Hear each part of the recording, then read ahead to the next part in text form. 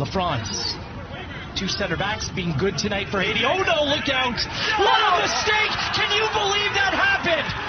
Oh my word! Duverger, Canadian born, doing a solid to his country.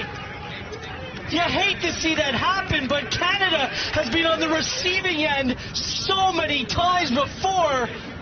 The most unlikely of goals you will ever see.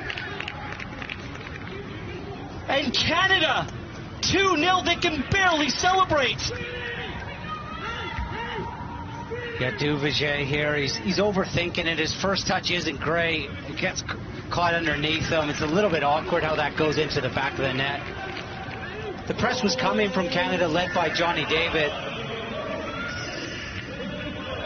Just gets one step ahead of himself and goes off his plant foot into the back of the net. You hate to see this happen to a professional, but we'll take it.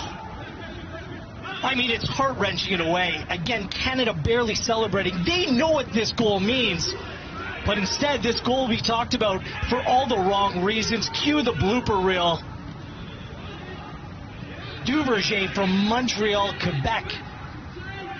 He's not going to sleep tonight. He's not going to sleep for the next week. As Canadians are concerned, you can celebrate out there. 1 0 on the night, 2 0 on aggregate. Haiti now needs three. Yeah, an absolute mountain to climb. Duverger, arguably Haiti's best player in the first half. An absolute howler from him. There's no way of getting. You can't sugarcoat it.